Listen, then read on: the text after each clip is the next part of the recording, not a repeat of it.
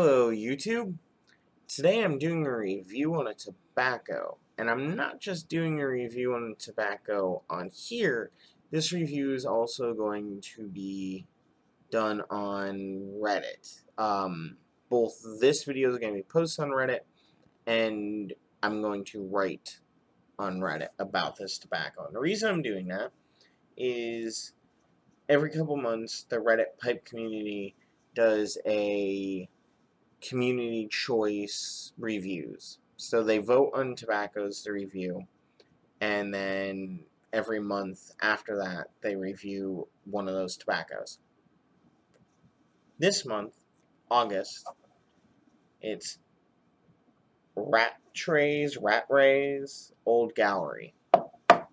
I'm going to say it's Rat Rays. Sounds better than Rat Trays you know I think it's spelt more like rat trays. Anyways, this tobacco is, according to the back of the tin, Rich Red Virginia Flake. Ready rubbed. So pretty simple. Uh, I did a little bit of research on tobacco reviews, and some people say it's mixtures of other stuff like Perique and all that.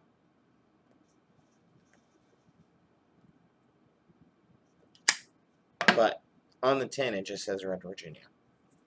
So, it's made in Germany. Now, first off, just want to talk about the tin. This is one of the most simplistic tins I've ever seen. And on the back, like, that's all there is. That's it. There's so many companies out there right now writing very poetic notes to their tobaccos in the back of the tin.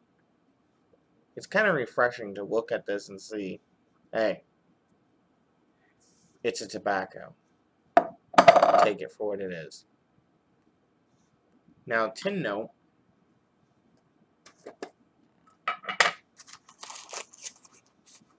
Is it's a Virginia it's like a sweet hay, grassy note. I'm not really getting that raisin smell that I get with other Virginias. It's nice though, just not very strong, especially compared to something like Sam Gawith's uh, Full Virginia Flake or, um, let's see, Orlik Golden Slice. You know, you open up those and it's like, whoa, this is just kind of subdued, quiet. The uh, tobacco itself comes looking like that. I know you can't see that very well. But says it's says it's ready rubbed. I actually rub it out a little bit before I smoke it because you get some really big clumps like that, which is a good thing. Um, aesthetically. And it lets you know that we're about to smoke is you know ready rubbed not they're not just saying that. It was a flake at one point. But it does need to be rubbed out a little bit or very least broken up a little bit by hand before you smoke it. And I've found that either packing my pipe and letting it sit for a while before I smoke it or um, letting it sit then packing the pipe is a better bet than uh, just going right ahead and smoking it. The other thing to note, hold on,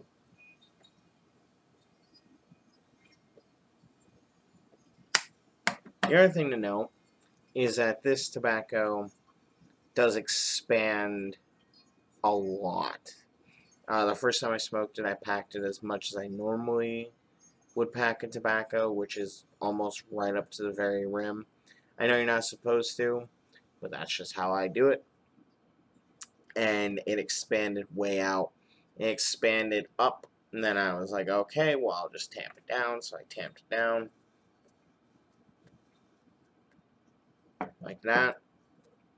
And so it decided, well, I'm still going to expand, and it expanded right down and covered the air hole so the first time I smoked it, I actually had to uh, dump out half the bowl because I simply couldn't get enough air through it to get it to stay lit.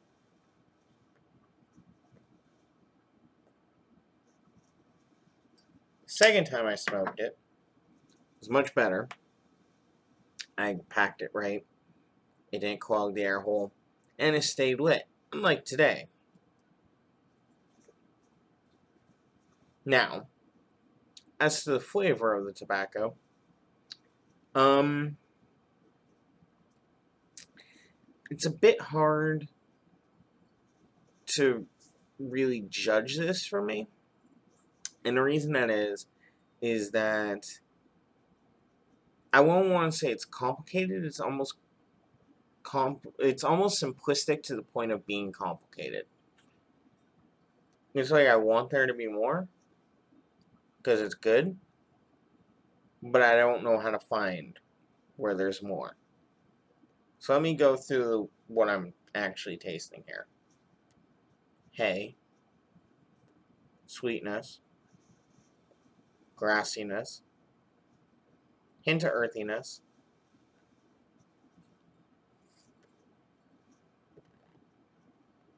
and a hint of pepper. And that's it. It's very simple. Some people on tobacco reviews mentioned chocolate. Other people mentioned uh, uh, like the same sort of citrusy notes you would get from Orlik. Um, I'm not getting those. To be completely honest with you. So I don't know. Maybe I'm broken. But is it a good tobacco? I sure as hell think so. It's not my favorite pure Virginia that I've had to date. That wouldn't go to Orlik. However, it is better in my opinion than Squadron Leader, so... Or not Squadron Leader, dear god, I haven't even tried Squadron Leader. I'm gonna have people trying to hammer down my door and shoot me. Um, no, uh, better than Full Virginia Flake. Um, which, if you watch my review of that, I've just had problems with it throughout, and I just think it's way too much of a pain to actually smoke it. But no, Rat Rays, um, I'm going to give a 4.5 out of 5. Uh, I like it. It tastes good. It's a good summertime smoke. It's not super complicated, so it is one of the smokes I would classify as a smoke you do something with. That's just me, though. Everybody knows I like to either have a really complicated tobacco and do nothing, or have a simple tobacco and have something to do when I'm enjoying it.